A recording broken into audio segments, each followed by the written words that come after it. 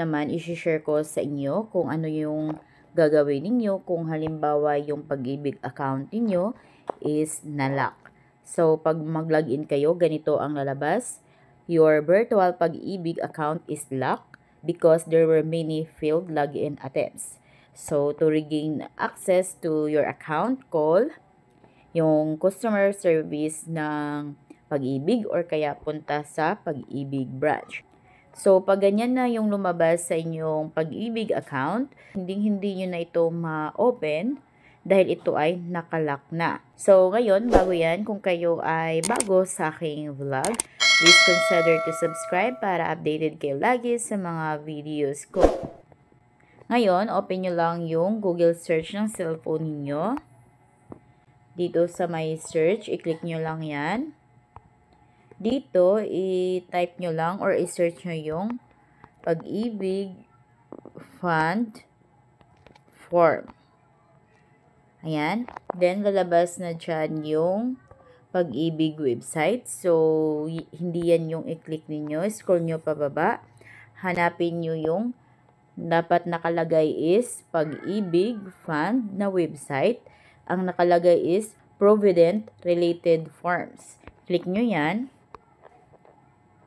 Ayan, then scroll nyo pababa. So, dito, makikita nyo kung anong klaseng forms yung mga naandito. Ito is under membership.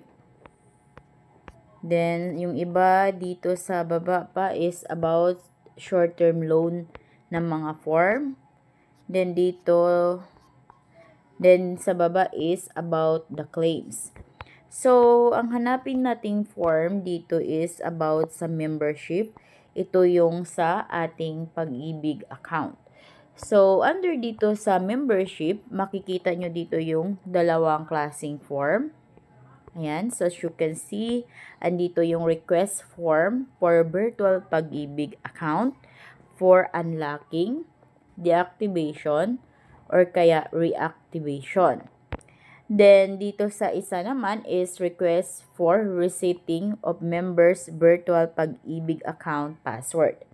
So, dito kung halimbawa nakalimutan nyo yung pag-ibig account password ninyo or kaya yung security questions na ginawa ninyo sa inyong pag-ibig virtual account, so ito yung uh, i-click nyong form. Pero dahil ang blog na ito is for is for requesting form for virtual pag-ibig account na nakalock. So, ang gagawin natin, kailangan ipa-unlock natin. Kung halimbawa naman, yung pag-ibig account niyo is uh, kailangan nyo munang ipa-deactivate dahil ito is na-hack or na-open ng uh, ibang tao yung pag-ibig account ninyo. So, pwede nyo ipa-deactivate yung pag-ibig account ninyo Then, meron ding reactivation. So, dito, para ma-download natin yung form, i-click lang natin tong form na naka-PDF. Click nyo yan. Then, ayan, uh, verifying na. So, dito, kailangan nyo lang i-download yung form. So, nakalagay sa akin is download again dahil na-download ko na yan. Sa inyo dyan, lalabas download. Click nyo lang yung download. Then, click continue. Dito, nakadepende sa file manager ba yung pang-open nyo ng files. So, depende sa cellphone. So, piliin nyo na lang. Ayan. So, ito na yung form na kailangan natin para makapagpa-unlock tayo ng ating pag-ibig account. So, itong form is pwede natin i-download online na para uh, less hassle na. So, pwede natin itong ipa-print And then, fill upan na natin ito para pagdating natin sa pag-ibig is diretso na tayo. So, dito, this form shall be accomplished in two copies. So, dalawang kopya dapat. Then, kailangan naka-print in black or capital letters. So, pag magsusulat kayo dito, dapat naka-big letters or capital letters. Then, submit the duly accomplished form together with photocopy of one valid ID to any Pag-ibig Fund branch. Saan may mas malapit na Pag-ibig branch sa inyo, so doon nyo ipapasa itong form.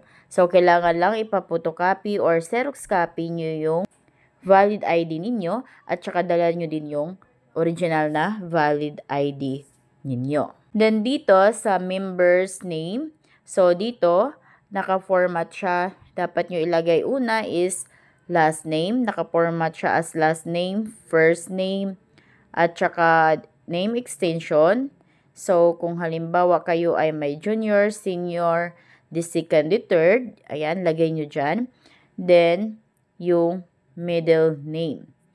Next is your pag-ibig mid number. Then, yung birthday ninyo, date of birth.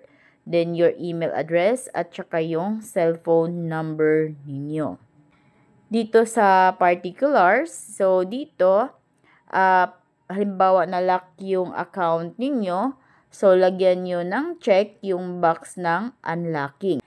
Itong process na ito is para ma-unlock na yung nakalock na account ninyo sa pag-ibig. Lagay nyo dito yung reasons bakit nga ba na-lock yung pag-ibig account ninyo. So, halimbawa, uh, nagkamali kayo ng lagay ng password. So, lagay nyo lang dyan, wrong password. Next is for deactivation. So, mamimili kayo dito sa mga reasons kung bakit nga ba ipa-deactivate nyo yung pag-ibig account ninyo. So, next is reactivation. So, kung ipa-reactivate nyo na yung pag-ibig account ninyo, so, lagay nyo yung reasons nyo dito. Sa box ng unlocking, yan lang yung lagyan nyo ng check yung box ng unlocking.